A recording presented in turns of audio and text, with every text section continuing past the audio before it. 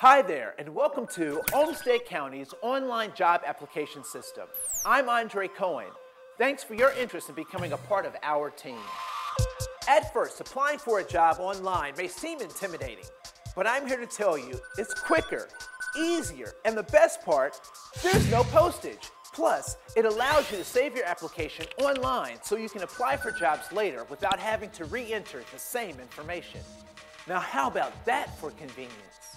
In this video, I'll show you the basics you need to know to apply for current openings, return and edit your application for different positions, along with tips to make the whole process a snap. All right, let's get started. First, click on Employment Opportunities and select Current Openings. Scroll down and select the job title you're interested in, and then click Apply on the announcement page. Now, if you've already set up an account, log in with your previously created username and password. We'll talk more about returning applicants later. But if this is your first time using Olmsted County's online job application system, you'll need to register by clicking Create Your Account here. It's free and will only take a few seconds. Simply choose a username, provide an email address, and create a password. Now is a good time for some tips. Remember your account information. Write it down if you have to. You'll need it again. Also, you cannot share accounts. There can only be one applicant for the same email address. Okay, you've created an account. You're logged in. Now you just need to apply. Click on the Create Application button and give your application a name, like Template or Accounting Application. Think of this as building your resume. Each section of your application is highlighted by these blue links on the right. So go ahead, enter your personal information and job preferences, then click Save and View Application. Be sure to correct any errors if prompted. Continue on to work experience, background qualifications, and so on. If you'd like to include more than one job or school, simply click Save and add another. Fill out each section completely and honestly. Okay, a couple of general things. Remember to emphasize the skills and experience that show that you're the best candidate for the job. Save early and often. Click the Save Work in Progress button at the bottom of the page as you go along. You may get timed out after 60 minutes of inactivity then any unsaved work you've done is gone, forcing you to do it over again. And who wants to do that? Finally, remember to review and update. Your application may be rejected if incomplete. It doesn't get any easier than that, does it? Now, if you get stuck at any time, click on the Help button right here. You'll find answers to a number of frequently asked questions. And see these numbered steps at the top of the application? That's showing where you are in the overall application process. The next section is agency-wide questions. This is a list of basic questions all Olmsted County applicants need to answer regardless of the job for which they're applying.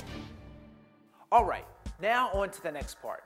Depending on the job you're applying for, you may be asked to answer a few supplemental questions related specifically to that job. Just remember to save your work when you're done. If there are no other questions, the system will take you directly to the next step, confirming your application.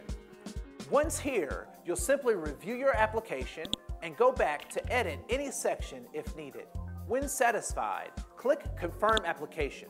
You'll now be asked to certify and submit your application. Read the certification statement and click on the Accept button. You'll see a message that your application has been submitted. Last tip, don't delay. Applications must be received by the closing date listed on the job postings. That's it, you're done. You're officially a member of Olmsted County's online job application database. Now your application will be reviewed. And if selected to move forward in the hiring process, you'll be contacted by email or telephone. It's your choice when filling out the application. Now tell me that wasn't easy. But wait, what if I want to apply for another open position in Olmsted County either now or in the future? Like I said earlier, our online application system makes that a breeze. Again, select Employment Opportunities, then Current Openings. Click on the job title and select Apply on the job announcement page. Log in with your username and password. See, I told you you'd need it again. Now you should see a link to that template application you previously filled out. Here's where you can really save some time and energy. You don't need to recreate a new application every time you apply for a position. If you want to use an application that you've already created for a new position, select it and continue the process. Remember, you may need to answer different job-specific questions. But if you want to tailor this application to the new job position, select Edit under the Modify heading. Make changes and continue the application process as you did before. Either way, I just saved you 15 to 30 minutes. Oh, and one more thing. Let's say it's been three weeks and you haven't heard anything. You can come back and check on the status of your application to see where it is in the hiring process. Just log in with your username and password, then click Application Status on the main account current openings page. There you go. Thanks for watching and thanks for your interest in joining our team. We can't wait to hear from you. Good luck.